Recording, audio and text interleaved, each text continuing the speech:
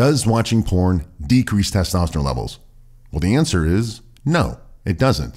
In fact, watching porn and being aroused actually increases testosterone levels by as much as 35%, as long as you don't orgasm and ejaculate.